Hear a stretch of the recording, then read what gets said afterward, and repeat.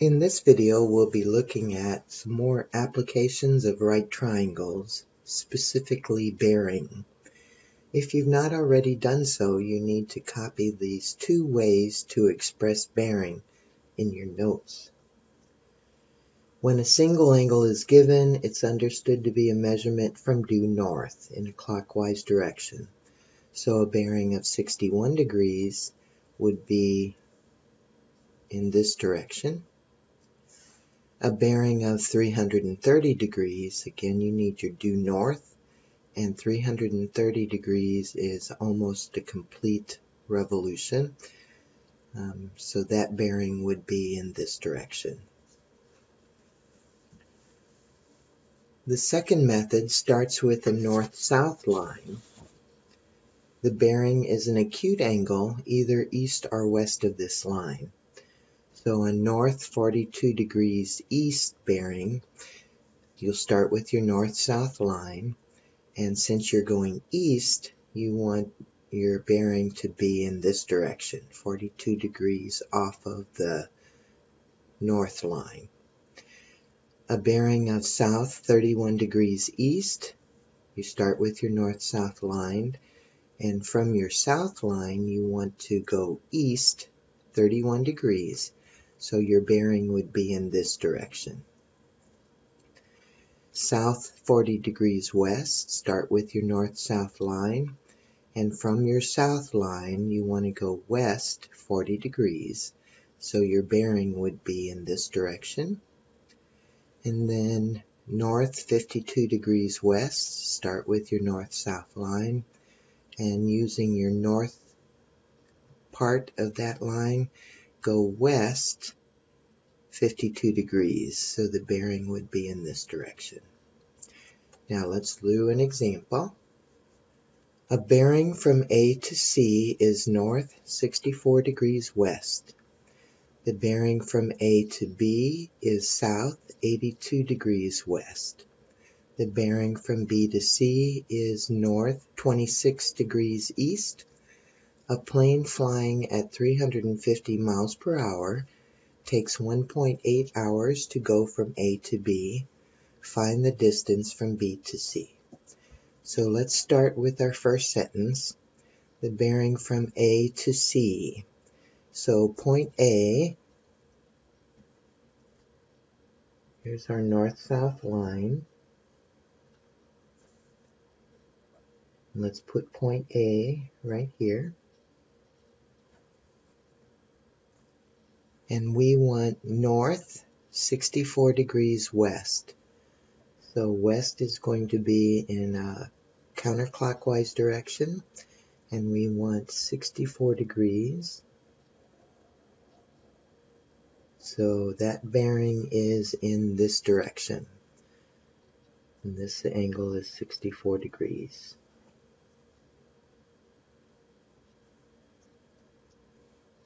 Then the bearing from A to B is south 82 degrees west. So we want to start from our south line and we want to go west 82 degrees. So almost 90. So maybe about there.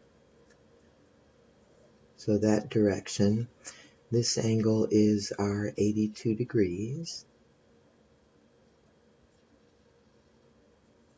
And then the bearing from B to C. Now we've not located any points, uh, B and C, but uh, let's just put some points in from A to C. Let's put our C right here. And uh, our bearing from A to B, let's put our B right here. And the only problem with um, estimating these angles and just putting points in is that um, our triangle may not look like it needs to, um, but we can fix that later. Um, now we know that a bearing from B to C is north 26th east. So from B, that means that we need our north-south line here at B. And from B 2C is 26 degrees east, so this angle needs to be 26 degrees. Now the thing, this looks kind of complicated. The thing that you need to keep in mind is that our north-south lines will be parallel. So this line is parallel to this line.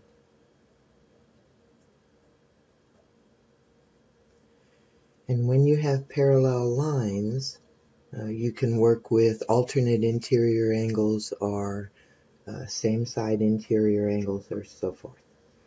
Uh, the thing that I'm noticing right here is that this is 180 degrees for the three angles. So I can uh, find my interior angle here.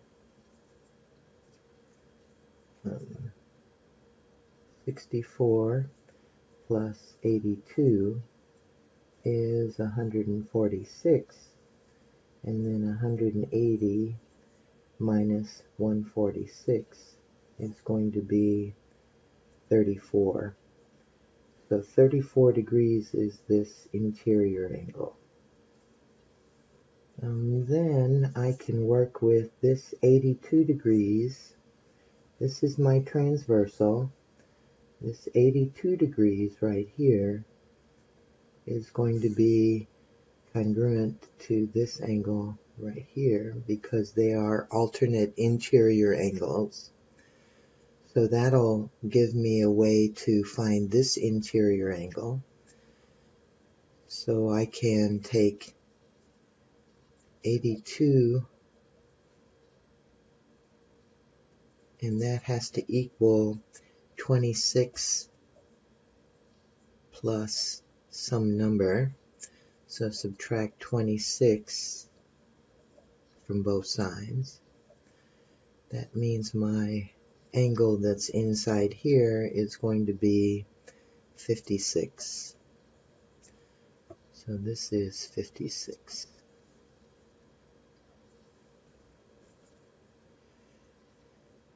Now if we add these two angles up, 56 and 34, we see that we get 90. So even though it doesn't look like it, this is my right angle up here at C.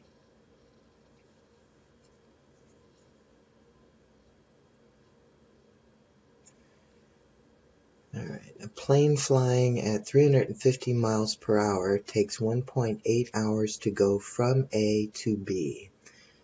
So from A to B is 350 miles per hour. Now that's not miles, that's the rate of speed. And um, they're traveling for 1.8 hours. So to find the distance here, we need to multiply these two numbers together. Distance equals rate times time. So 350 multiplied by 1.8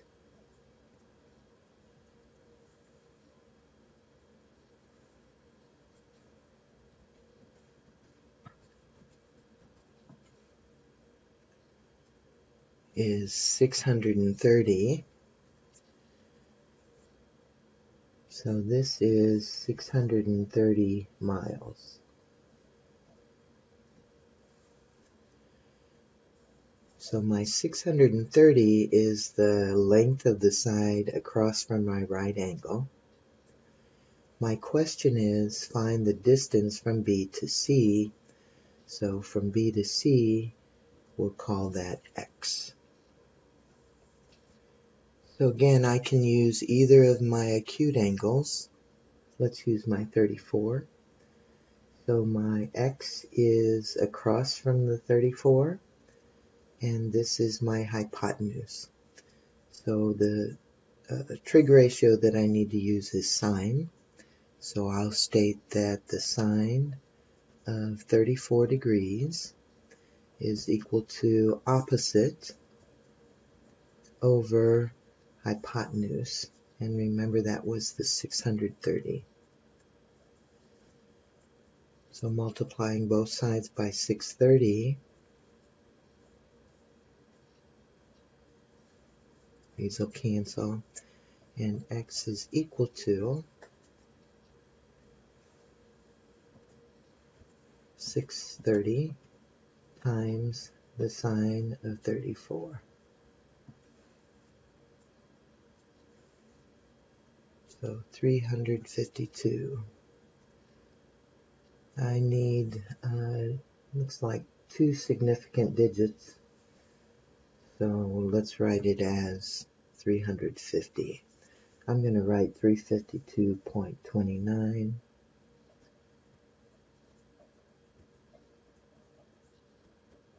And then take that to 350 minus